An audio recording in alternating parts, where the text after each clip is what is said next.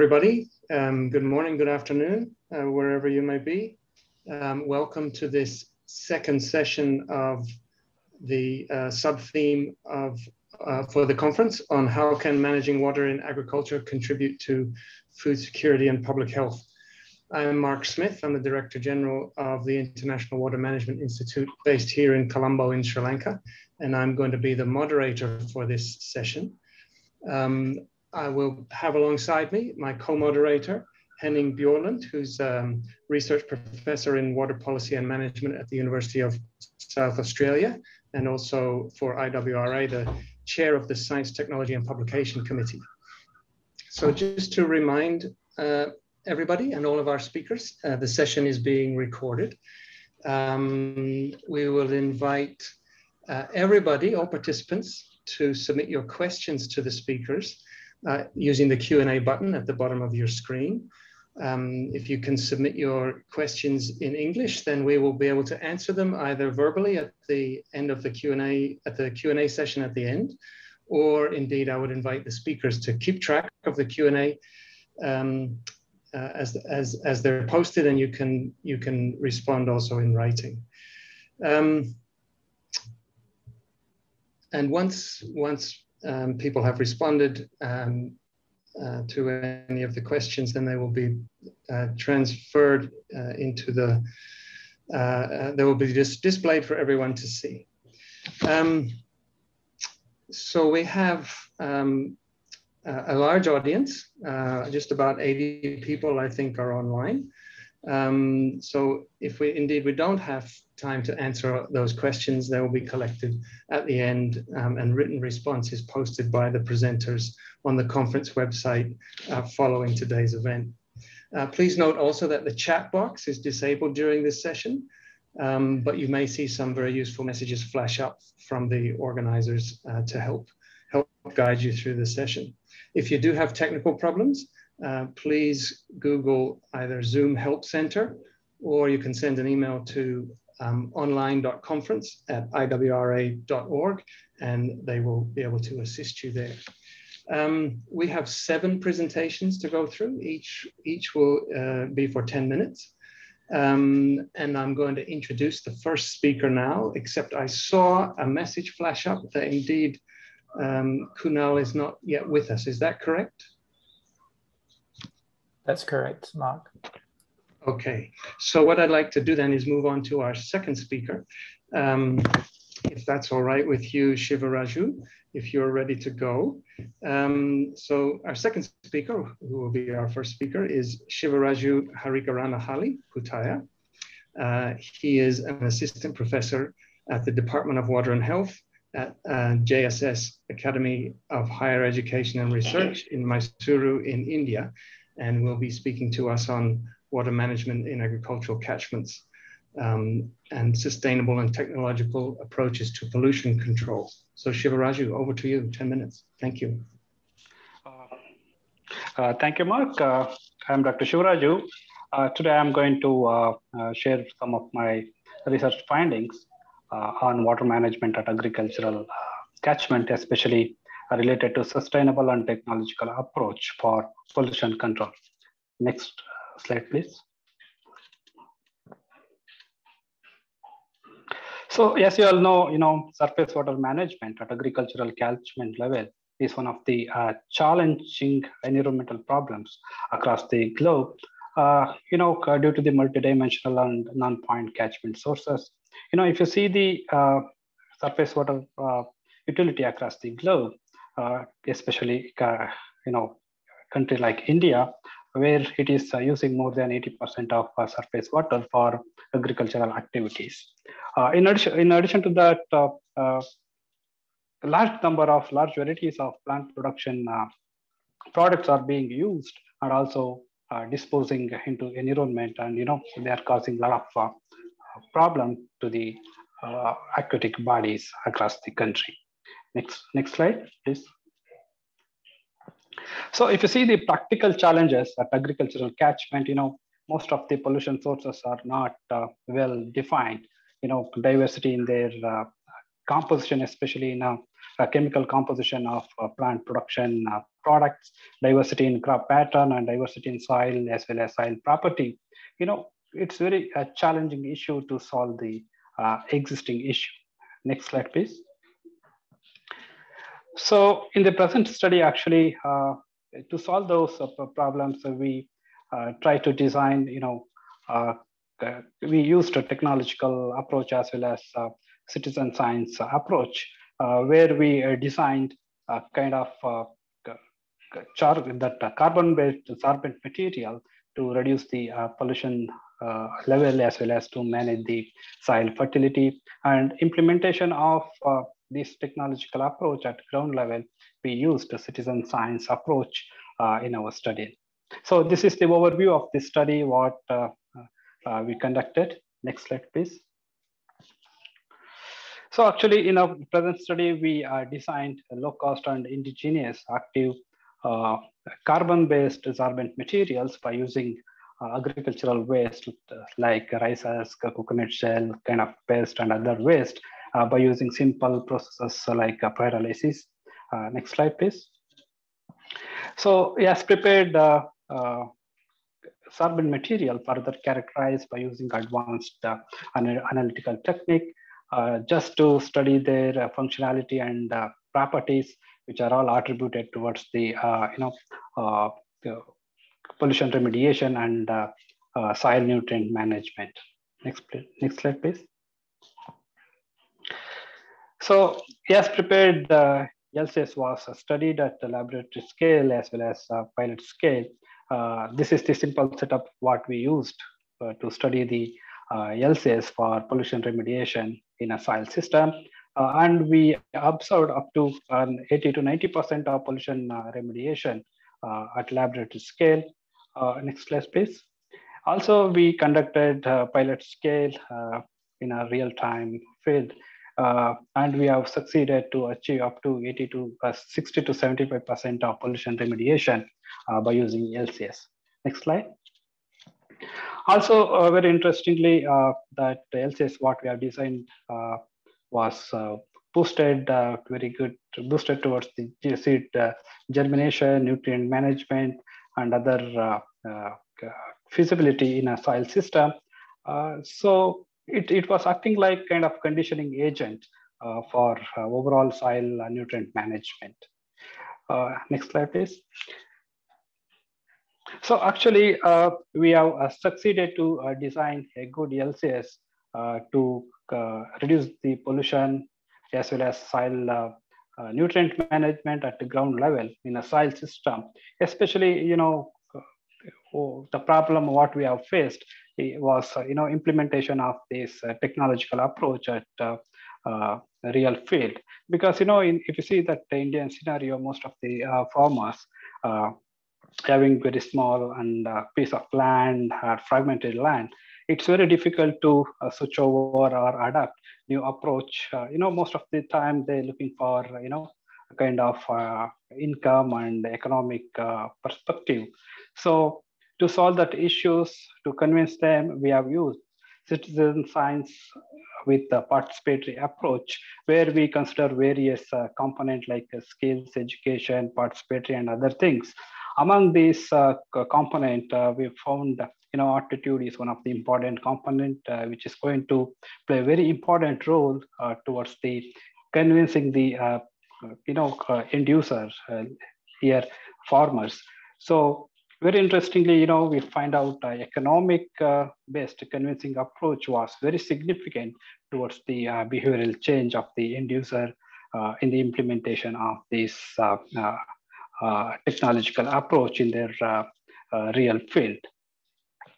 So based on that, next slide, please. based on that, we try to design kind of a novel framework to understand the dynamic interaction across the water, energy, and uh, food and environmental nexus. And we uh, uh, found out that, you know, the technological approach, uh, uh, you know, citizen science, a regulatory uh, component with a very potential modeling tool can help for sustainable management of surface water especially in agricultural catchment during agricultural activities. And all these uh, uh, are going to uh,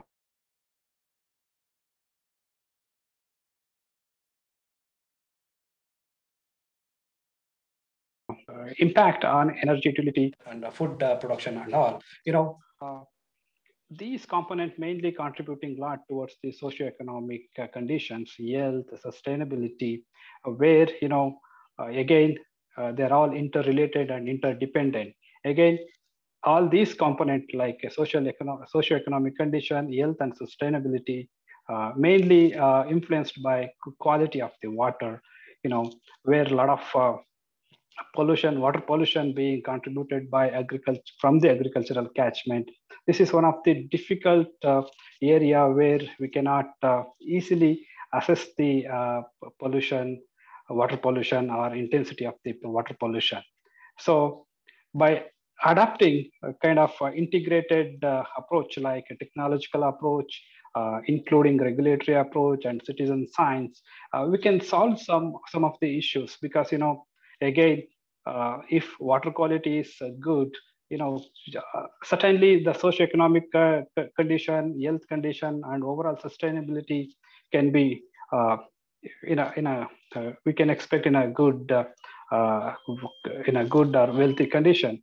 But if water quality is deteriorated, again, it is negatively impacting on socioeconomic condition and health of the people. Even it is impacting a lot on food production in recent days. So next slide, please. So in conclusion, uh, uh, the integrated uh, technological approach and uh, uh, citizen science, especially uh, kind of participatory approaches, play a very important role in solving some of the issues, the existing issues, especially water pollution in agricultural catchment. so uh, it actually that is the major problem. Uh, it is very difficult to uh, find a perfect uh, kind of solution. So we need a lot of uh, multidimensional and integration of various sectors to solve the issues. Thank you for your attention, and I would like to thank organizer for giving these opportunities. It's all my presentation. Thank you. Thank you so much, Dr. Shivaraju. Um, we will move straight on to the next presenter. As, as I said at the beginning, we'll take up some questions at the end after this, all of the speakers. So let me move on to the next presenter, which is uh, Partik Kumar. Uh, Partik is the coordinator for the Water Working Group of the Revitalizing Rain-Fed Agriculture Network based in Hyderabad in India. So Partik, over to you.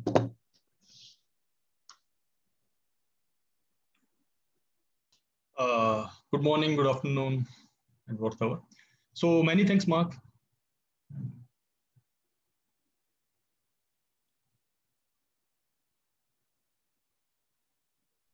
Presentation, please.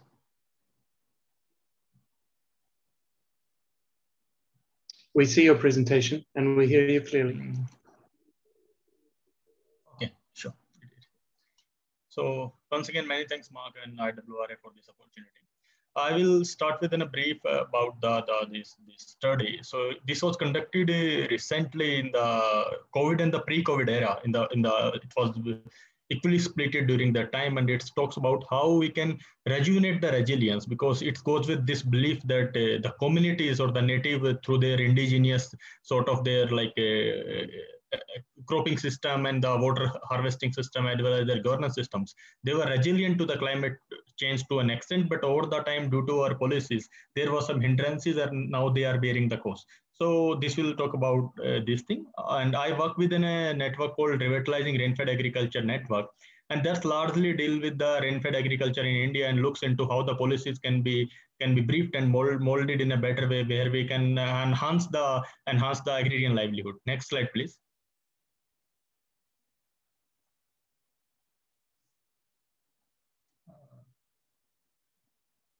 Next slide, please.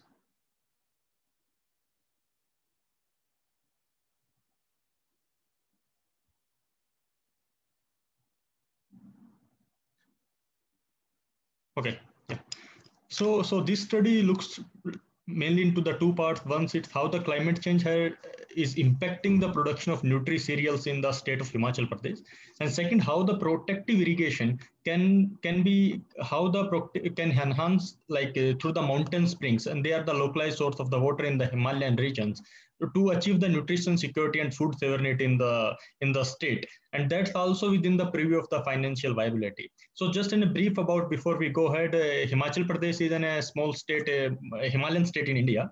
Uh, next slide please.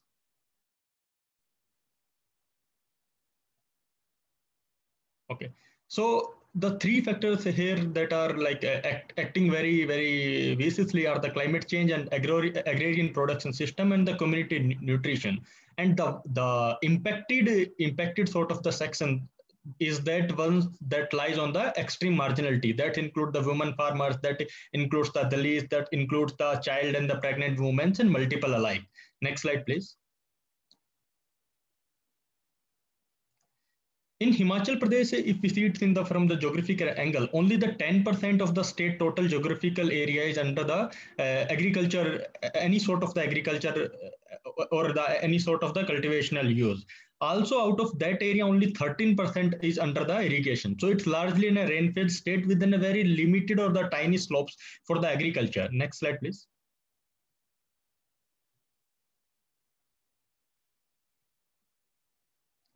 So in the last 30 years, we see the, the rainfall, the monsoon that, that arrives here. There are the five prominent things that occurs. The annual rainfall had decreased, and that is a there is also a significant variation in the timing of its occurrence. And the most important two things that happened is the there is an uh, increase in the dry spells. The length of uh, dry spell had increased drastically. At the same at the same point of the time, the extreme event that's like the hailstorm and the uh, likes are started occurring more frequently. Next slide, please.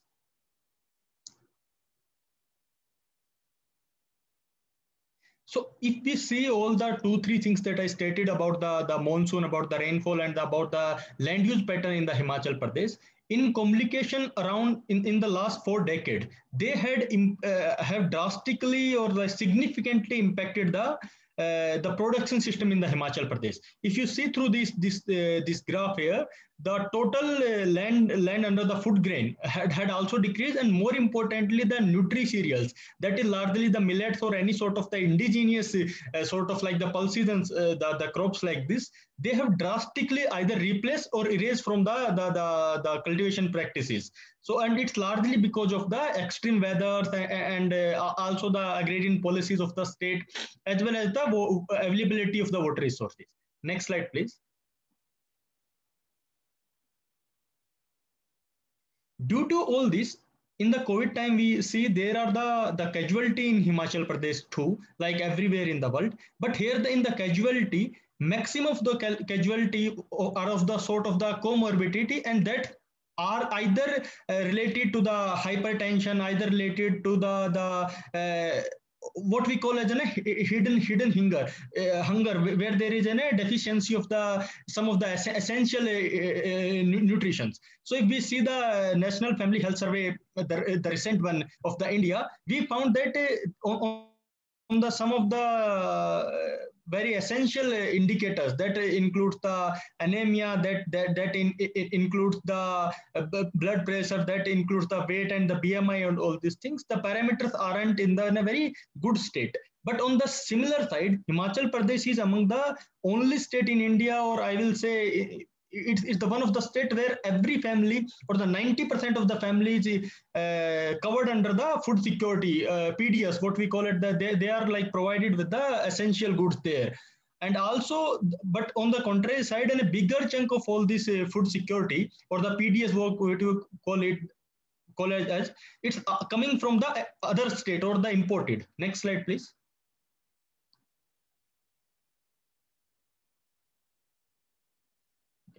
So just to meet with all these uh, uh, the issues around the health and as well as on the productivity and the production, there is a potential lies with the indigenous source. So springs are, are the decentralized natural water uh, water sources holding the gravitational uh, uh, some potential. So they, they can they can come as a very uh, effective uh, this thing as a filler to meet the meet the water need of the agriculture, and they can help in reviving the traditional or the millet there.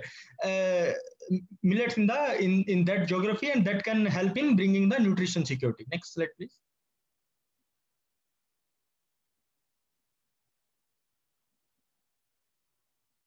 Okay.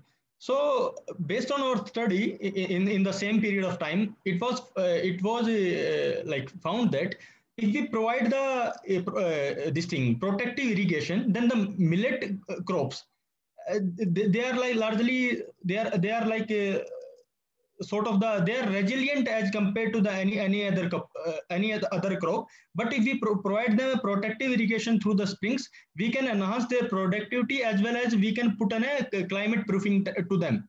So himalayan millets they also consume an around 60% less water as compared to any other major crop on, on the on the same side if we use the protective irrigation to uh, bear with the the longer dry spells or unusual uh, unusual dry spells and we use the the formula of the critical irrigation or the what we say critical stage irrigation the productivity can again be improved by 20 to 30 percent bearing from the land type we are growing onto and also in the next thing, if we go with the springs and the protective irrigation, the net potential uh, of the enhancing the community nutrition, I will say, and it's largely on the iron and other essential uh, essential indicators we can increase it by there are the potential to increase it by 15 to 25 percent. Again uh, depending upon the upon the community its class and the caste and the multiple other factors. Next slide please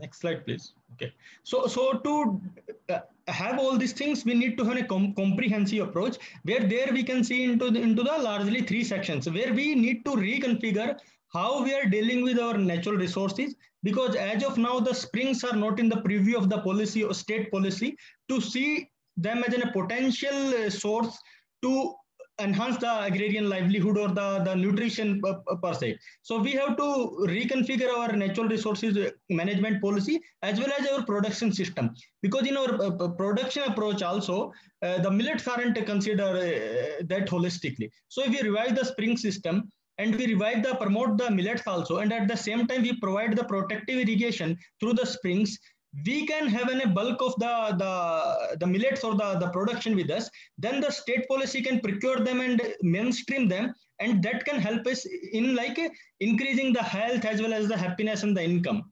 Uh, next slide, please.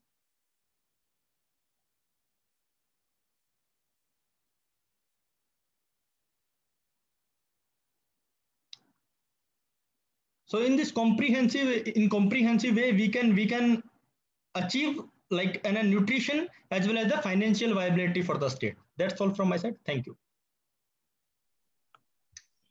Great, Partik. Thank you. Uh, in perfect time. Um, you've really done a nice job of addressing also the theme of our, sub, our session today on integrating agricultural water management and food security and public health in a very interesting way. Thank you. Um, just a reminder to everyone that um, you can post your questions in the Q&A box that we'll then be able to take up in the uh, Q&A session at the end. Um, so let's go on to our next speaker. Our next speaker is Kakoli Ghosh, who is Chief Technical Advisor uh, for FAO for the FAO Technical Cooperation Program in Saudi Arabia, and is going to present to us on integrated pathways for sustainable agriculture and rural development for smallholders in Saudi Arabia. Please, Kakoli. Um, yes, good morning, good afternoon, and good evening to everyone listening in. Thanks to IWRA and uh, everybody for giving the opportunity to present this uh, program, the project from Saudi Arabia. So I'm going to speak about integrated pathways for sustainable solutions, particularly in a country which is heavily in, in, the, in water crisis and has a huge water scarcity issue, which is known to everybody.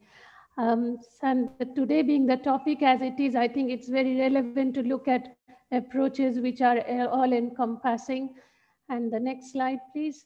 Um, so basically what we are trying to look at here to give a general framework is to look for pathways which are sustainable, but the question always is how to achieve such pathways because the quest for sustainability creates tensions, creates trade-offs, and they are very hard to win, hard to find win-win solutions within the agriculture food systems. This is not something new, but this is something that we have been grappling with for a very long time, and we will continue to do so. And it is even more so in places like Saudi Arabia, where, can I have the next slide? Where we have to look at trade-offs at very many different levels and the impacts of what it will be on a country which is as vast as, as this is. However, it is extremely water deficit and it is a big challenge. So you will be surprised to find that Saudi Arabia is normally not mentioned in terms of agriculture and certainly not mentioned in terms of smallholders agriculture, but they do exist and it's a very robust form of farmers and smallholders who have been practicing their own cultivation in very interesting ways for a very long time in the country. So although Saudi Arabia, the smallhold, the land holding of agriculture is pretty small, about less than 2% of this vast country, the smallholders and the rural sector are very important for food security, for their culture, for heritage, but as we know, they face profound agriculture, agroecological, and socioeconomic challenges. Of course, water is the biggest of them, and the solution cannot just be water, it has to be a comprehensive solution. On the right, I have tried to list a few of the issues that they face, whether you are looking at the crop sector, livestock sector, small scale fisheries, or natural resource management, which is of course very interesting because they have touches of forests, vast national parks, and very, very interesting aquifers and ecosystems which are very unique to the country and this particular region. So taking in mind all this, the government of Saudi Arabia, particularly the Ministry of Environment, Water and Agriculture, called as MEWA, along with FAO, formulated what is called as the Sustainable Rural Agricultural Development Program for the country, mainly to diversify the rural economy and improve food security. Now, Saudi Arabia is a very highly food insecure country because most of its food relies on imports, but there is potential to grow coffee, crops, fruits, many cash crops, and they do that. So we will be talking a little about that. Uh, next slide. So what FAO is currently doing is FAO is assisting in strengthening the Ministry of Water, Environment and Agriculture, uh, MEWA, as it is called, capacity for the implementation of this massive sustainable rural agriculture development program through a holistic integrated approach that will support rural diversification, boost food, food security and rural income. Now this particular project, of, it is about 93 million and US dollars worth of uh, investment. And there are about eight components which are directly going to be impacted through this project, including coffee, rain-fed cereals, including sorghum, millet, and sesame, rose and aromatic plants, smallholders livestock, beekeeping, and honey production, small-scale fisheries, fruit section, and a huge bulk called natural resource management, which includes everything from water management to land desertification, sand encroachment, and so on. Now, the, the task here for FAO is to strengthen the ministry's capacity to handle these. So we are directly working with them, strengthening their policies, their approaches, their basic branch capacities in order to be able to improve and somehow find a way how to implement this massive program that is on, on board. So next slide. It is being done through a first identification of a vast number of problems, a range of problems that were identified, targeting the smallholders because the focus of the project is smallholders. First of all, it's the very poor production technologies. In this context, I have to say the word poor doesn't mean they are not effective. It's just that they are very traditional and it's not meant to uh, sort of say that they are not useful. It's just that there are far better ways now available that can improve and accelerate the development or production that they are looking for. Capacities in the institutions, again, need a vast amount of improvement, including for extension, training, you name it. There is very limited rural employment. There's a big boost from the government to particularly promote youth and women. Rural youth and women are particularly left behind. And that's another area which has long, long required. And a big, big chunk of this work is also related to finding the right data data and information, creating the baseline on which you can present and improve. And uh, of course, provide the ministry with the tools that they need in order to advance in this direction. So how do we go about it? Next slide. Um, essentially, given the range and scale and scope of the project, it is really not possible to look at it in one bits and pieces. It has to be a cohesive, integrated approach. It has to address the ministry's concerns. It has to address, it has to be linked with what is called the Vision 2030 of the Kingdom of Saudi Arabia. This is a huge, ambitious program of a vibrant society that has that is very much at the core of the national transformation plans. Of course, it has to be linked with the sustainable development goals because it can easily address a number of those goals. And then there is the, the food systems, which again, Saudi is very committed to, the kingdom is very committed to, and of course, we as FAO have our own strategic framework. So taking all these into, come, into account, we are we have just started, of course, so I can just present to you how we are looking at some solution pathways which are aligned to these commitments. Next slide. So the first pathway that we are looking at is basically an inclusive approach. We have to put sustainability at the center of delivery. And when we say inclusive, it truly has to mean inclusive across the level, from the ministry, from the stakeholders, from the youth adaptation, and, and find a way for the program, the project that we have to be flexible enough to adjust where and when it is needed. There are many, many targets, many, many outcomes and activity outputs and outcomes that are planned, but all this will really mean nothing if it is not inclusive and leaves no one behind. Next slide. And the second solution pathway we have put in is to adopt, in order to get there, is to adopt a 360 degree view, meaning addressing all the cross-cutting component, cross-cutting areas for all these components. What are these cross-cutting areas, you might ask? Well, first of all is capacity building at an institutional and, and, and a sub-institutional level. At the center, that's in the in the headquarters and in the branches and the offices in within the villages and in the rural areas. Second is that value addition. We are focused on value addition across all the nine, eight components that I just mentioned. Value addition is more than value chain development. It includes marketing. It includes agribusiness related incubation centers for youth and women. It includes value chain development, of course and developing appropriate business models for that. There is another area of research and extension, which is extremely important and very necessary if we have to make any difference whatsoever in future for sustainability. And all this to be encompassed within a farming system approach where we are looking at what are the various farming systems available, what are the areas where you have to address this in a critical manner to gather the data. Now, when I say how we are looking, we are connecting all these with our people who are available. And I have one more slide to go if allowed, or I can stop here.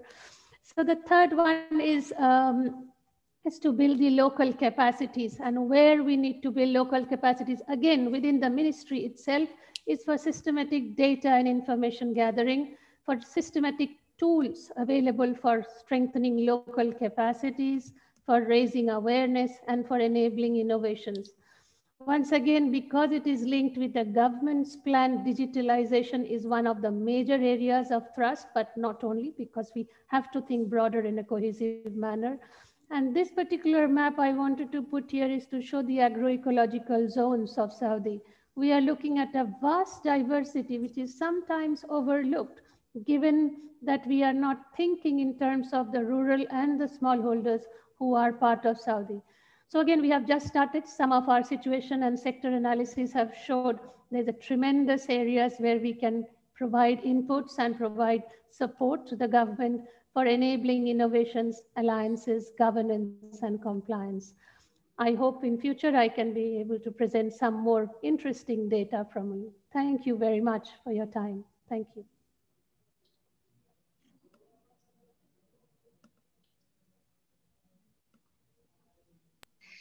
Great, thank you, Kakoli.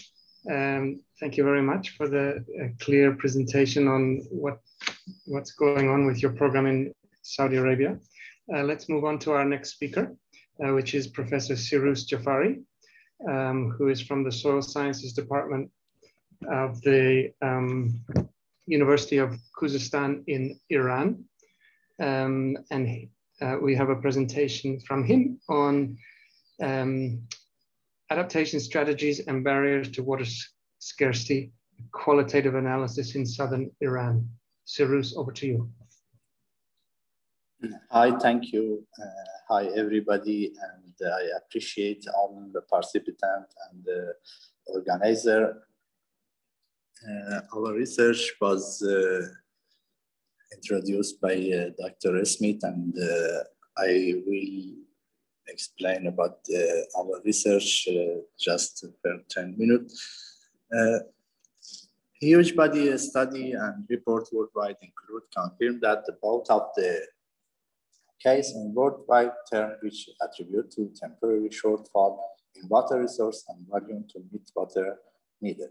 Uh, first, uh, next slide, please. When a large number of people in area on water uh, insecure for insufficient period of the time when we can call the area water scale.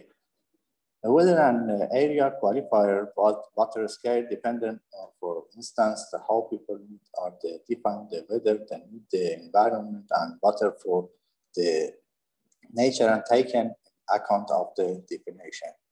What fraction of resources is made available or would be made available to satisfy uh, this needed. Temporal and spatial scale need to define scarcity.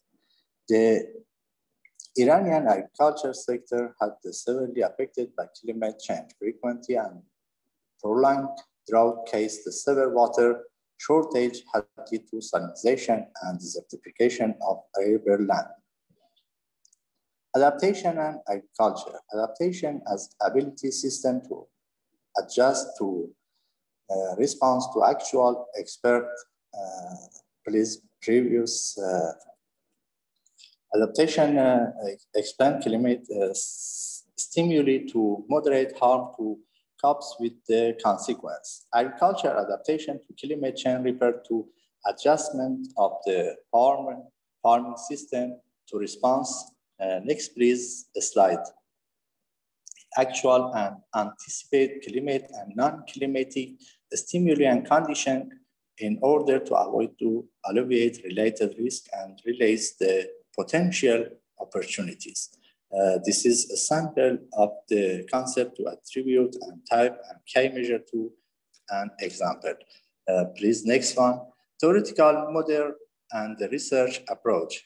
Health brief model, health, health belief model or HBM was emergent the social psychologist. It is the most common and most popular theoretical model to help prom promotion behavior.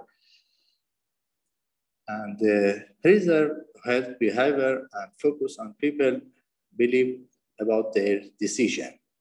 In this model, treat pre uh, precipitation and behavior evaluation are two main components. Treat uh, perception and component include two sub-components, which are the precipitate susceptibility and anticipate severity. Behavioral evaluation component consists of two sub-components, which are the perceived benefit and perceived barrier. Uh, as shown in this slide, we can two part of the main component self-efficiency and cause of the action that we evaluate the adaptation behavior. Next, please. Material and method. Uh, the main purpose of this study investigating uh, perception and farmer risk of the water scarcity and identifying main adaptation strategy and barrier to water scarcity in South Iran. Traditional agriculture system in microven agriculture is done by surface method. Due to application of quantitative approach to this study from the semi-structure in depth, interviewer to better understand farmers' perception, uh, perception of the risk, strategy, and barrier to their adaptation uh, with residents of Dasht-e-Zan region in south of Iran in uh, province, agriculture area with climate recent drought in the south Iran. To analyze results, we used the HBM model has been used to the possibility of interpairing adaptive behavior based on two dimensions of this model, namely farmer risk precipitation and how farmer respond, uh, respond to the water scarcity. Choose this model because of the opportunity capability include the ability to access risk precipitation and modified adaptive behavior in field environment and the respective power.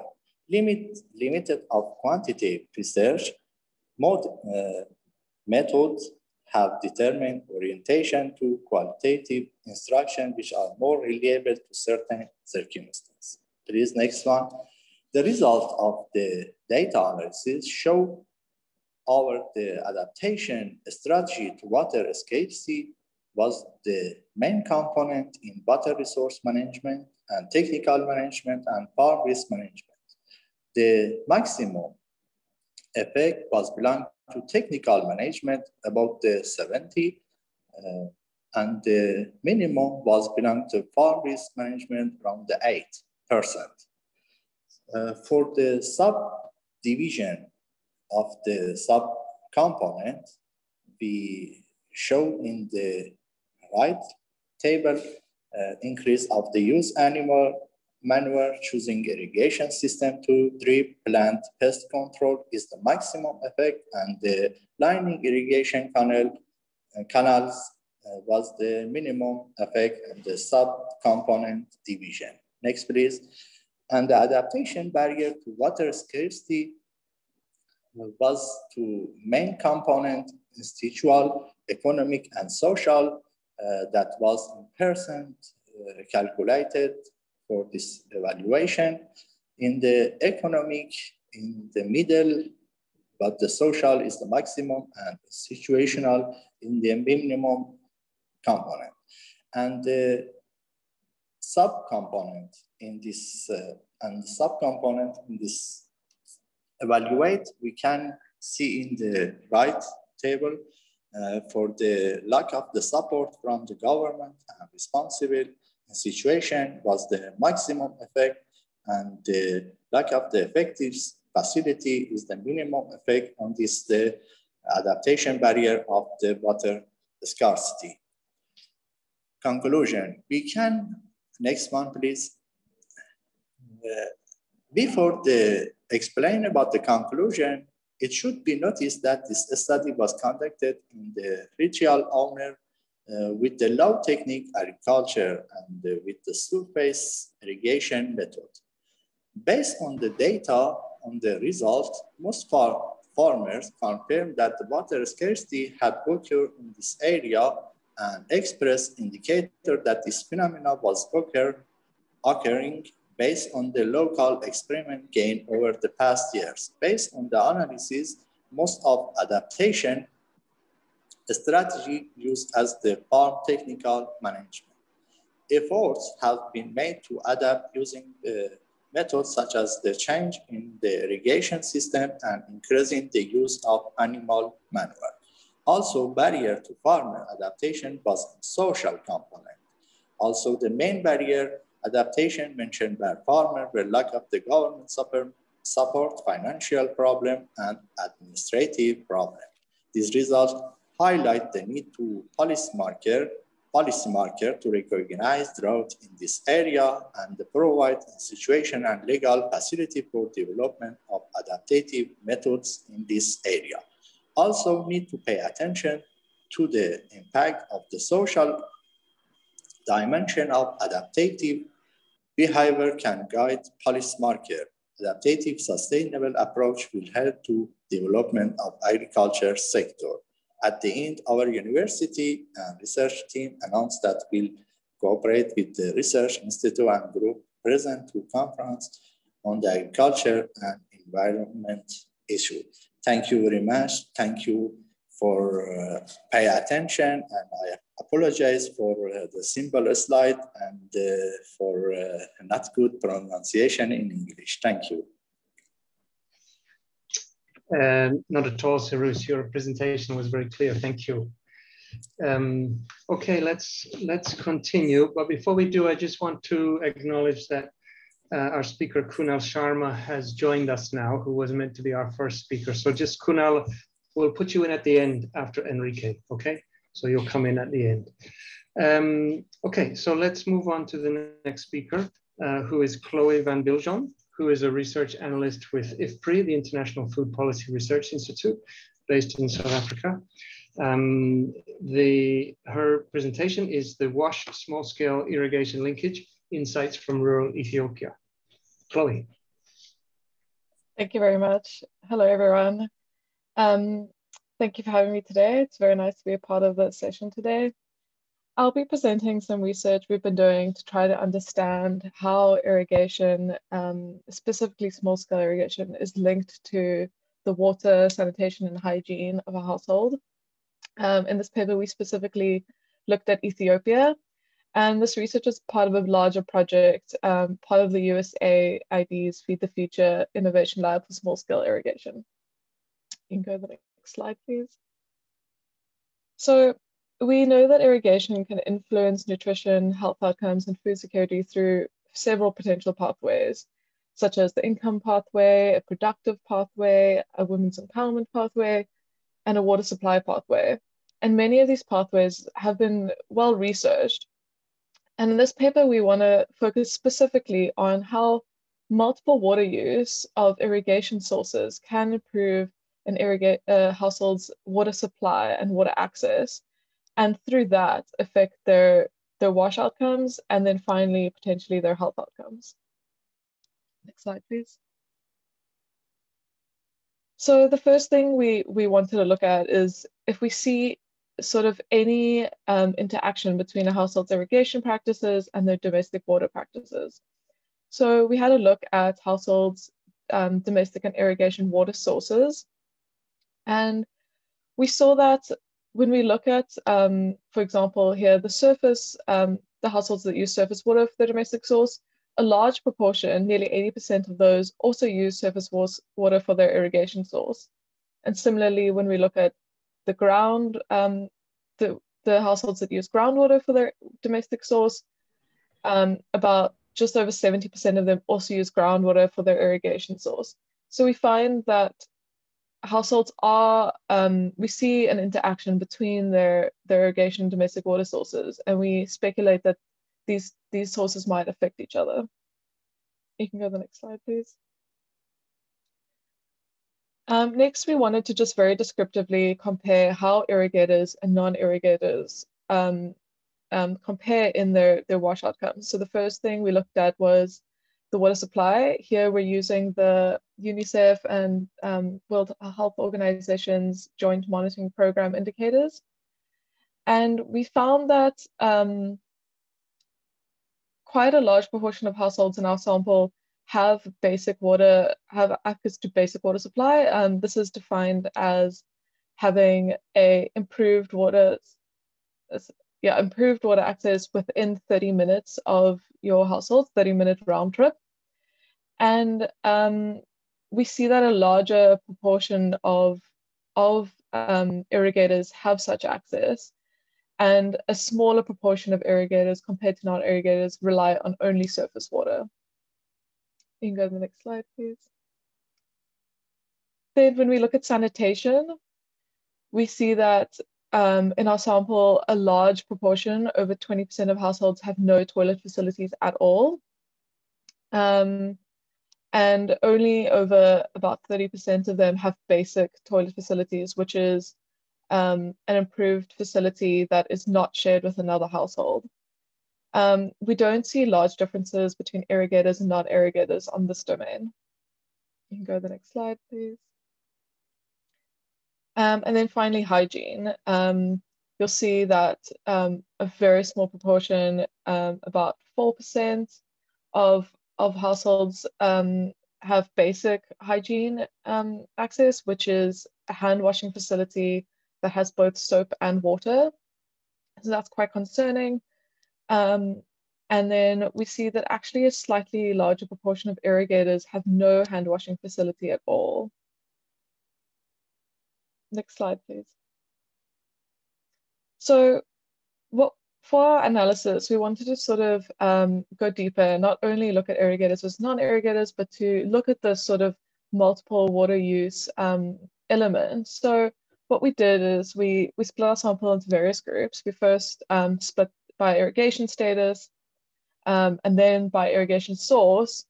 And then finally, we within each irrigation source, we, we have a question within our survey that asks the household not only whether it's the same type of um, source that they use for the domestic purposes, but if it's the exactly the same source.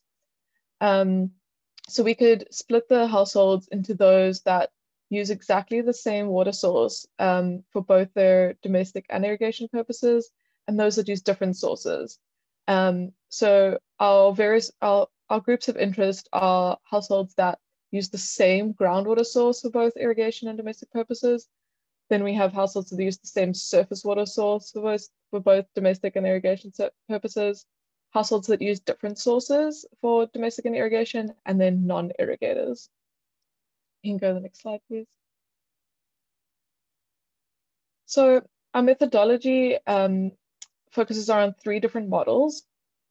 Our variable of interest is domestic as multiple water use status. It's the, the groups I've just outlined in the previous slide.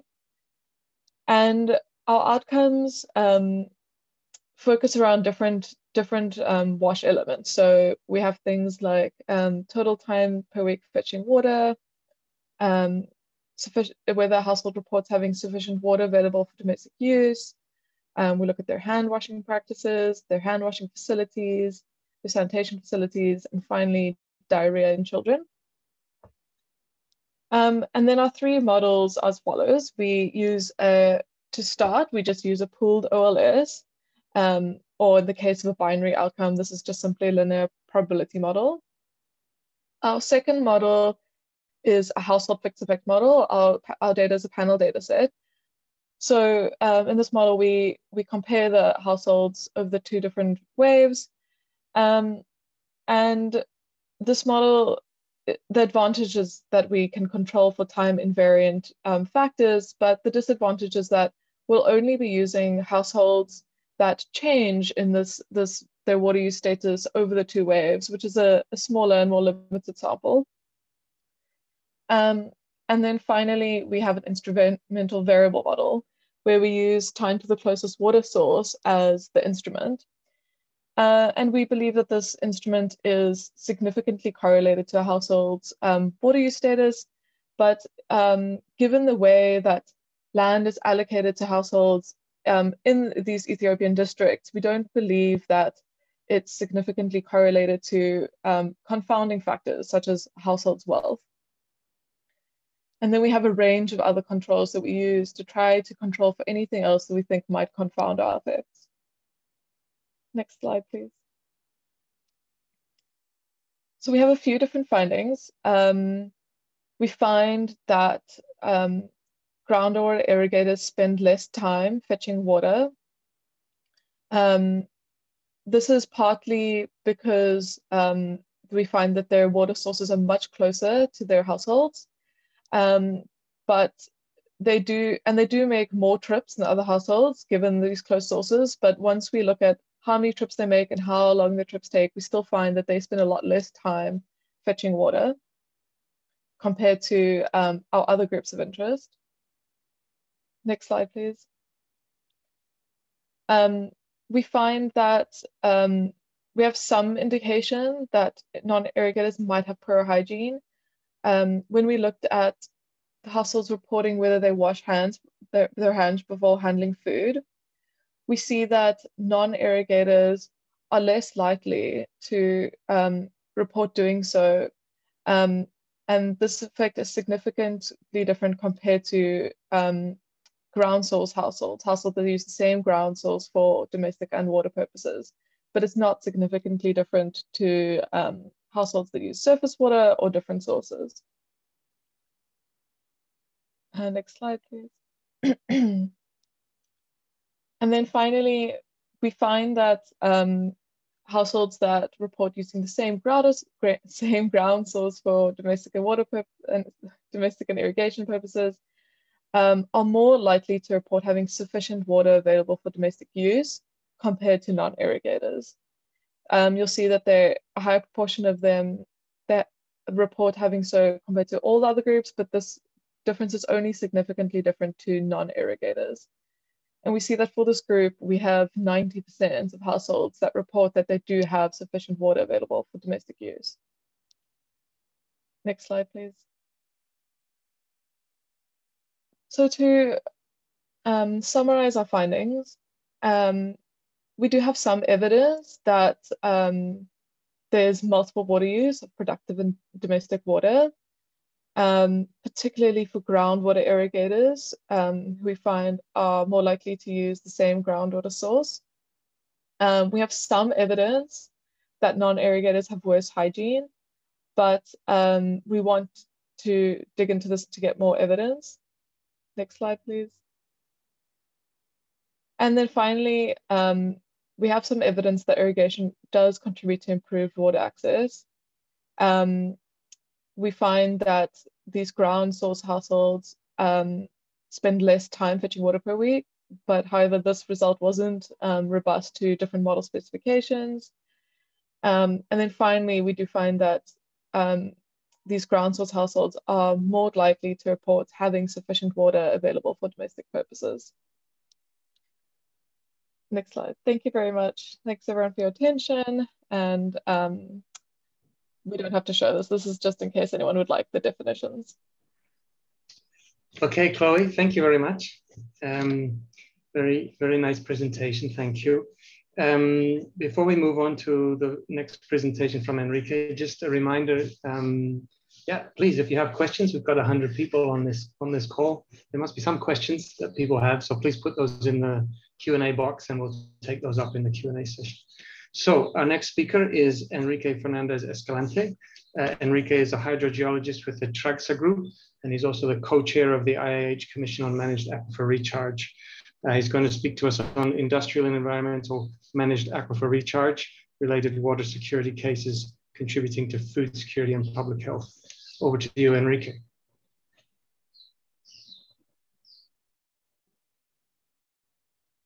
You're on mute, Enrique.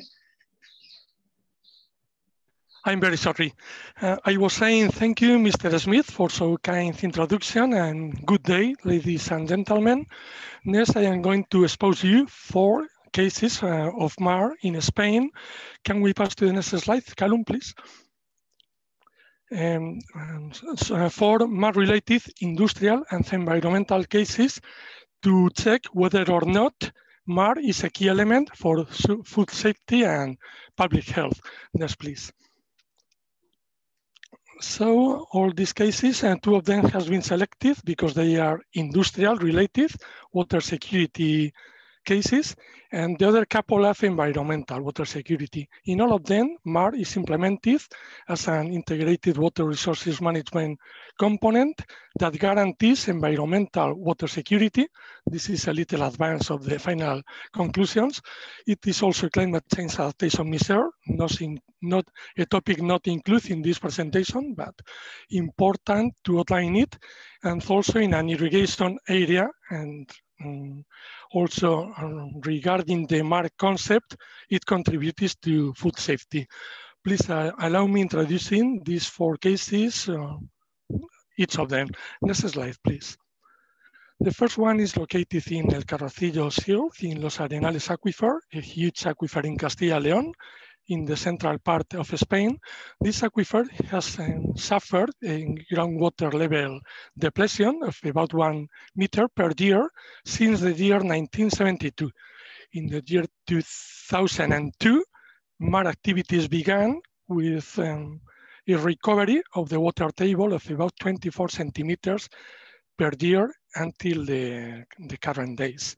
So the indicator to track the evolution is the groundwater storage in, the, in this aquifer. Next, please. So in this field, it, uh, MAR is the driving force of the local economy. About 50% of the hectares are in irrigation and 80% of the vegetables production of the whole province is produced in this field. The groundwater extraction is about um, MCMs per year and the 24% of this irrigation volume is coming from intentional recharge from MAR. Let me mention some economic indicators regarding this region.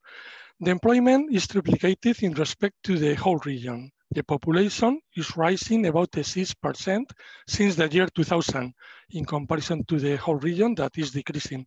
And the productivity of certain crops is being duplicated, even triplicated. Next, please. The second um, case is the Alcazarén Pedrajas Satmar, also in Los Arenales Aquifer, in the neighbor province in Valladolid. It is an example of water quality variations depending of the wise combination of different sources for MAR with the stakeholders intervention, introducing the term co-managed aquifer recharge.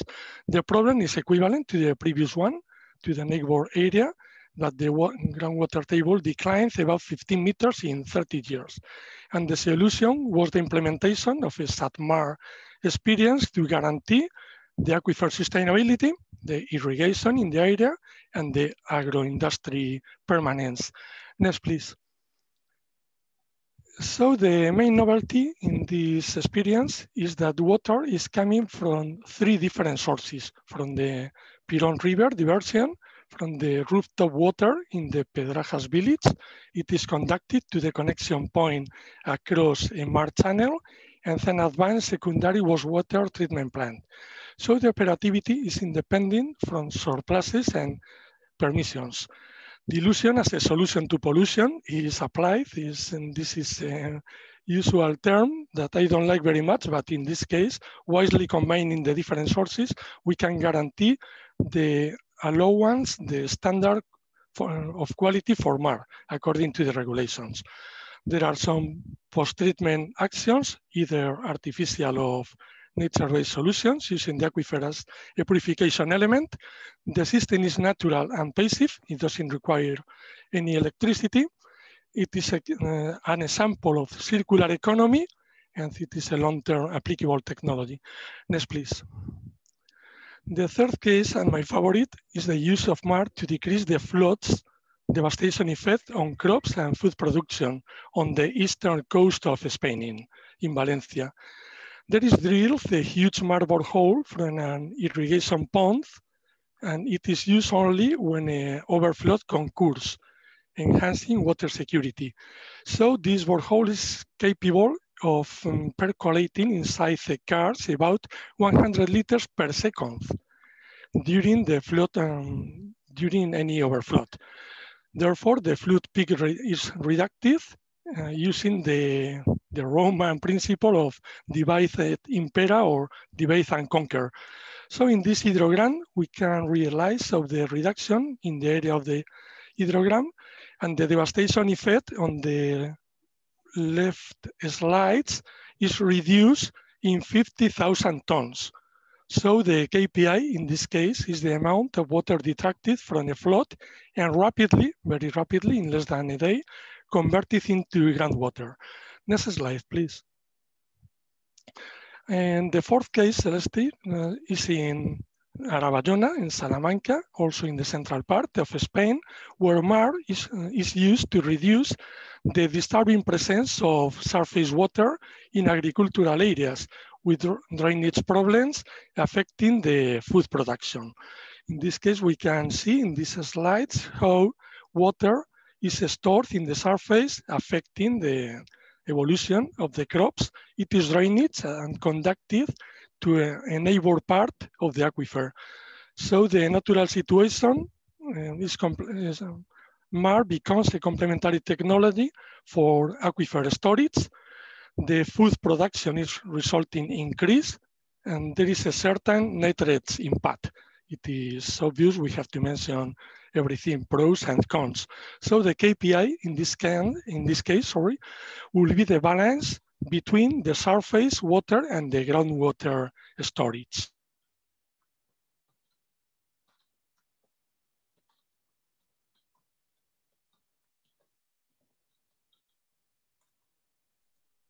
Enrique, you seem to have gone onto mute again. Sorry, I am taking the mouse away because I am used to, to click myself. Okay, I was um, going to talk about the results. So in the first case, the impact on the irrigation area is translated as a rise of the population and even a triplication of the crops production, for example, for the watermelon and for the sweet melon. In the second case, the reuse of water is key for food production and also is improving water quality standards with at least an improvement of 18 parameters and also the groundwater availability.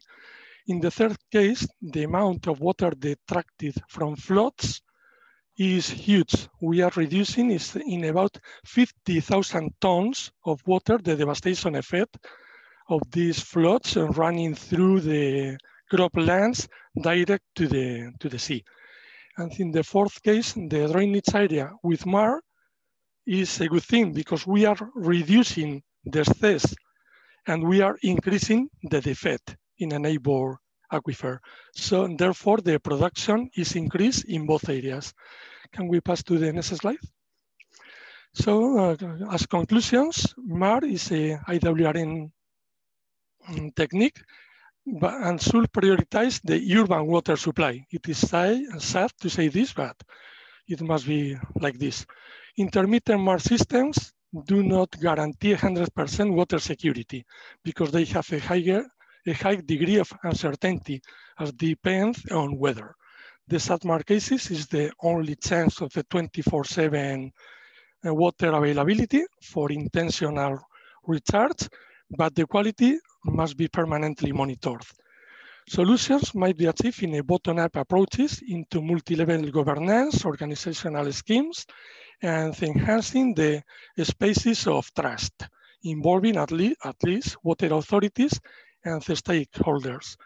Water security is also jeopardized by economic interests, regulation barriers, and conflict of interests. And the most important conclusions is that multi-level governance, the bottom-up decision support systems, the COMAR and the PPPP are improving IWRM, water security, food safety, and public health.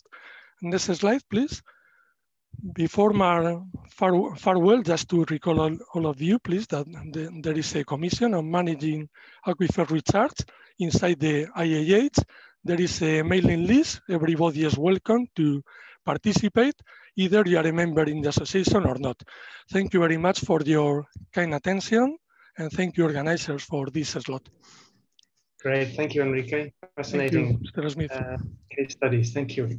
Um, so before we get to the Q&A, let's go back to um, Kunal Sharma, who was scheduled to be our first speaker, but is with us now.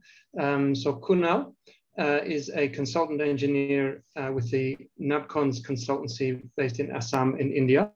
And is going to speak to us on sustainable spring watershed management systems in the Indo-Himalaya region. Uh, so Kunal. Thank you so much, sir, for giving this opportunity, uh, giving this platform. Here, uh, I am here to discuss the uh, sustainable spring watershed management system in the Indo-Himalayan region, where the what the village community facing the challenges and this uh, planning planning approaches to overcome these challenges. So myself, Kunal Sharma, I am basically consultant in Nabcons and now in Guwahati, and my co-author is Dr. Nirban Nashkar. He is the assistant professor in Mizoram University. So can you go to the next slide, sir? Next slide. Yeah. So purpose of sustainable spring watershed management system. So basically uh, Indo-Himalayan region and also in, if you uh, consider Northeastern region, most of the households are solely dependent on the spring water. Even for the drinking, uh, washing and uh, agriculture sector, they're solely dependent on the spring sheds. So now, now due to the uh, effect of climate change and the uses of plastics and then cutting of trees, the, the uh, discharge in the spring is decreased so we need, need to uh, we need to do some small small intervention so that we can increase the discharge in the springs. So for that, uh, we need to identify the recharge area. When we identify the recharge area, we can uh, go for the some small small interventions. We divide the small small intervention into structural measures and non-structural measures. So basically, yeah, to ensure the water security in the villages and in the Himalayan region, to ensure the livelihood standard of the village areas and in the Himalayan region, these are the mainly purpose of sustainable spring water management system. Challenges. Water source is located in a little far from the, uh, from the settlement. Uh, most of the time, the springs are located in a far, far from the uh, habitation area. So the villagers are go, uh, go in a, in a distance places to fetch the water. Uh, this will take more time and, uh, and, and also these will impact the, you know, kitchen gardening and other agriculture practices because they, they, they, they, they used to they used to wait in a long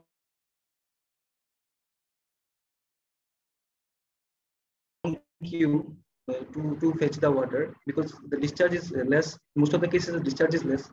So uh, the spring is very low. Spring is not easily accessible. Spring is not easily, um, uh, villagers cannot easily go to the uh, spring chambers. And in some cases, there is no spring chamber. So they will collect the water directly from the spring. So it is also an, uh, one of the difficult, difficult for the uh, villagers to collect the water from the spring no government water supply scheme. Basically, there there will be due to the topography of the area. Uh, there is no pipe water supply schemes in most of the villages in, uh, in Meghalaya and also in the northeastern region of India. There is a uh, no pipe water supply schemes, low agricultural output and income opportunity, and all due to the scarcity of water, there is also the agriculture output is very less in that particular region.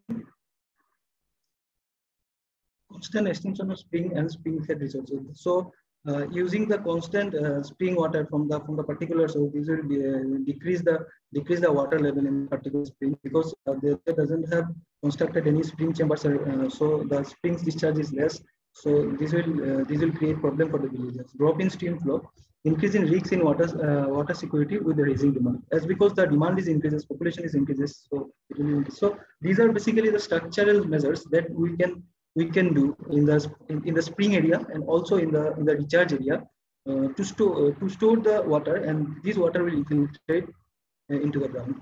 So basically spring chamber uh, it is basically it helps to store the water from the spring and discharge the surplus water to the nearest field so this is uh, one of the approach uh, we can construct a spring chamber so that so, so as to store the water and and then and the and the discharge this this water directly into the agriculture field dugout surface runoff water stored and percolates into the ground. We can uh, we can do uh, in the recharge area we can do the dugouts small small dugouts and whatever the rainwater that will that will that will store in the dugout and then it will infiltrate into the ground. So these are the small small interventions that, that we need to do uh, to increase the spring discharge.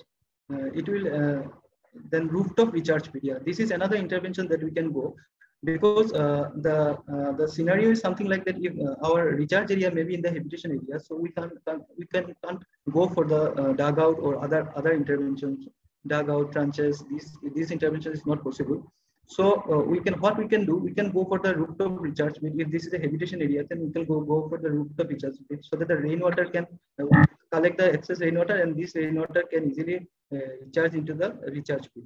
So this is one of the uh, alternative to inflated water. This is the contour trenches.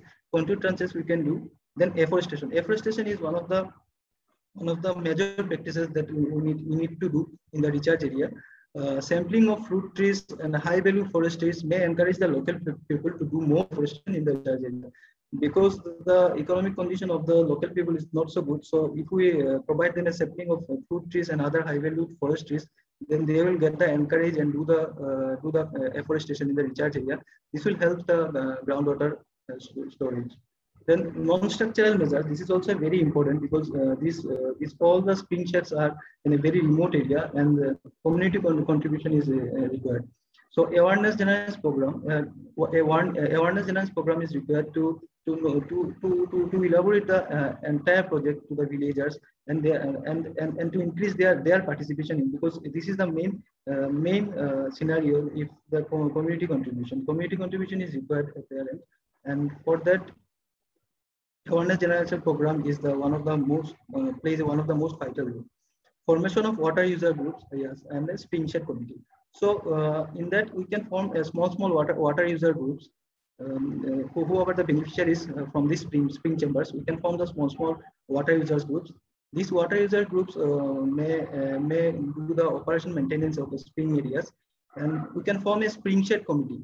Uh, we can form the one spring shed committee to look after the entire springs in the uh, of the particular village. Because uh, maybe in one village there have a two or three springs are there. Users are different but uh, we can form a small small water user groups along with the spring shed committee so that they can go for the whatever the intervention that they are proposing they will they will do. Livelihood activities yeah. Uh, we, we, we can do in addition to that if you provide some livelihood activities like beehives or we can provide the poultry farming piggery these kind of livelihood activities encourage the people to go to go and uh, to go and, and, do the whatever the uh, whatever the necessity for the community to participate in the in this program so livelihood activities is one of the of the major rules then employment generation. The local people who can, uh, whatever the structural measures that we have, we can uh, we can we can utilize these uh, local people for the employment generation as a mandate basis, uh, so that so that people participation and ownership will increase. Operation maintenance plan. We, we need to develop an operation maintenance plan. That, that plan uh, may may have may have the uh, entire thing, entire action plan that how the spring shed committee members and water user groups will maintain the project uh, after the implementation because uh, the maintenance is required. Approach and use the address of the issues. Science-based assessment of the spring shed and identification of the recharge area is very important. Community participation is very important. Good quality of whatever the structural interventions are there, they should be a good quality. Good management and supervision of work done. The transparency in project implementation and financial matters. There should be a transparency in the project implementation financial matter with the local local community.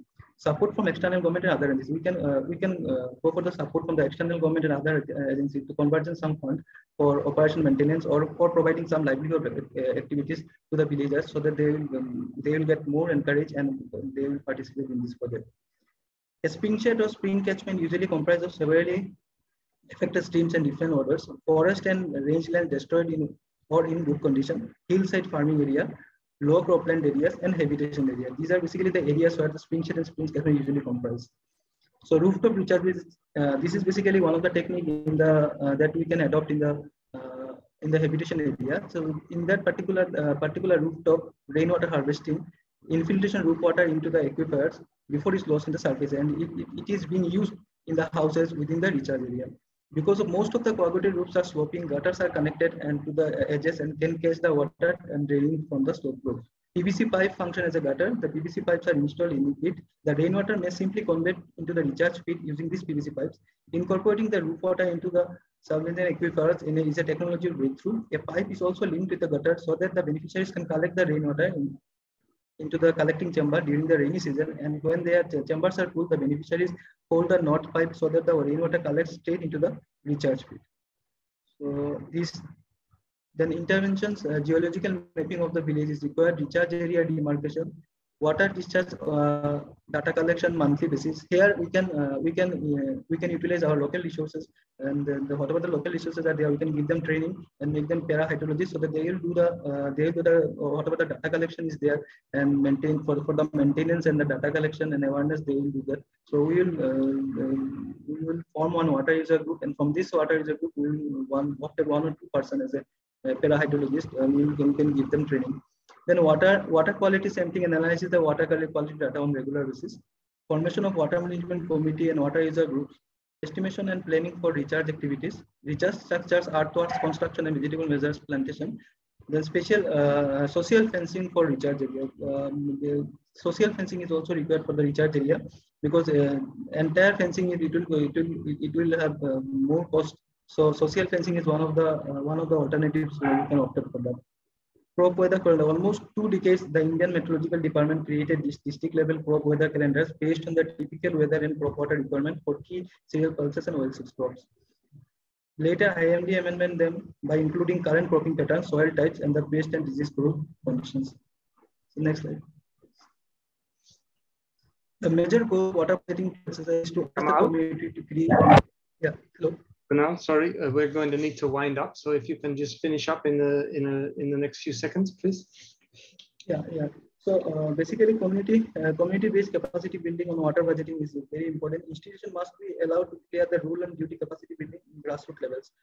The most effective uh, option is micro micro level planning for water budgeting, which will lead to the water security. Water reserves must be planned in the long term in order to ensure the sustainability for recharging ensuring ability from uh, surface sources during the times of water scarcity. So can you go to the next slide, sir? Uh, basically, the public engagement will uh, uh, will and and develop the ownership to contribute the long-term viability of the project. Uh, water resource restoration and maintenance should be ongoing process. So local people should be, uh, should be taught to manage their sources. This is the one of the most important. Uh, water body restoration and repair can be lead to the increase their water use. Optimal use of spring and resources. This is one of the factor. The strict surveillance, uh, surveillance water storage management is equally crucial in water availability. It's the aided provision of food security. Bottom of the institutional framework and resource management is long term and successful. Okay, we better stop there. Uh, thank you, Kunal. Um, thank you very much. Okay, um, we have a very few minutes left for a few questions. So I'm going to hand over to Henning uh, to take us through those. Henning. Thank you, Mark. And uh, thank you to all the speakers for uh, excellent presentation. It was a wide range of uh, very interesting papers.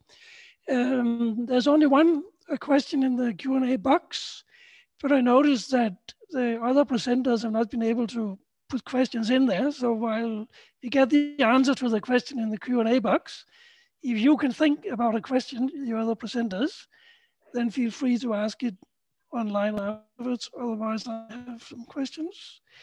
The one question in the box is for Enrique Fernandez Escalante on the managed aquifer recharge. And the question is, for MAR, are you recharging the aquifer upstream or downstream of agriculture? Over to you, Rick. Okay, thank you for the question. And the four cases exposed are MAR for agriculture. So in this case, we are recharging water at the heading of the groundwater set.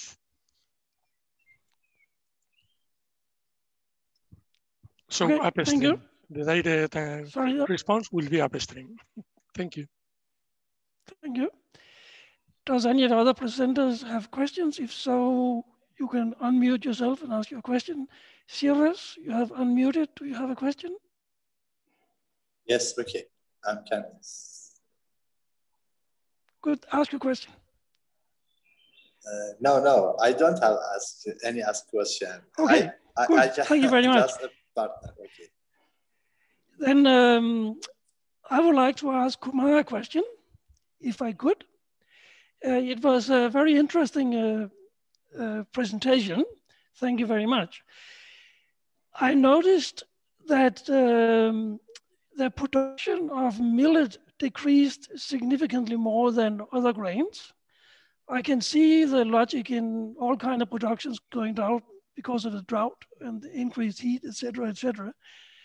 But why have millet decrease significantly more than grains. Considering that millet uses less water, could millet is a lot more nutritious, so should in a sense be eaten in preference.